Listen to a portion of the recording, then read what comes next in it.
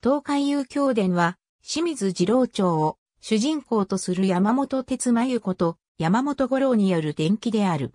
最初に書かれた次郎長の物語であるとされる。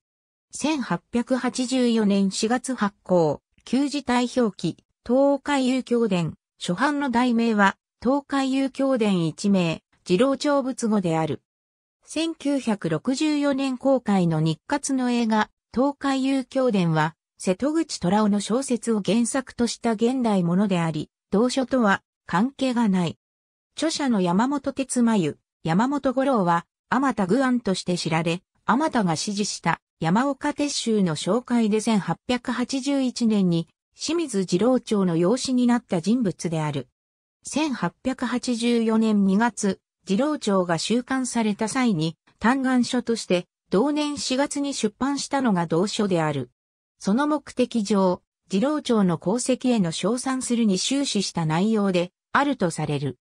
初版奥付けによれば、1883年11月21日が版権免許日になっており、それ以前に執筆がなされたものであり、著者として静岡県平民山本五郎の名がクレジットされている。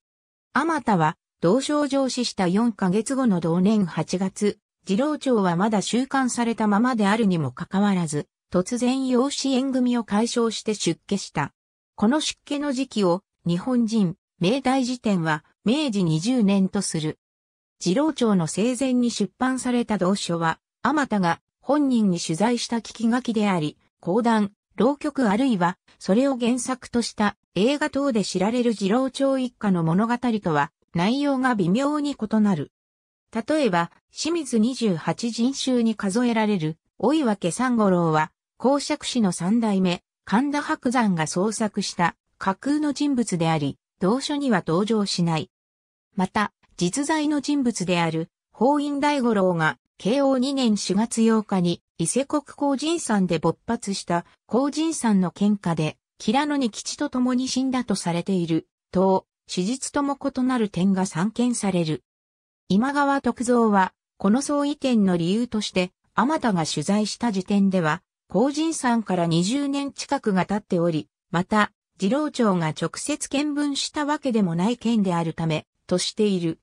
同書が発行された9年後にあたる1893年6月12日に、次郎長は満73歳で死去した。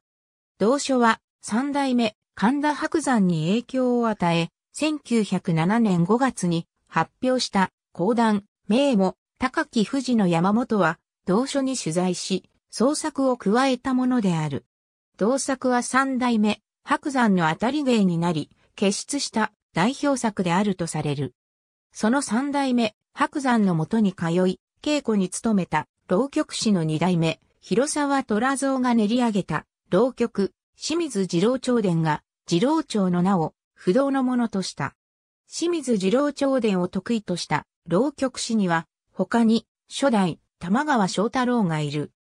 牧野正宏が監督した映画シリーズ、二郎長三国志は、1952年6月号から1954年4月号まで、オール読み物市場に連載された、村上元蔵の同名の長編歴史小説を原作としているが、同作は、講談、浪曲をベースにしている。東海遊経伝あるいは、遊経伝をタイトルに使用する映画は多いが、あまたの東海遊経伝を直接原作とした劇場用映画、テレビ映画は存在しない。あまたが、あまたグアンの名で1894年に発表した巡礼日記は、巡礼日記二郎町外伝の代で、吉井勇が劇作、和田務が演出して、二郎町の最後を描いたテレビドラマとして、1958年11月3日に放送されている。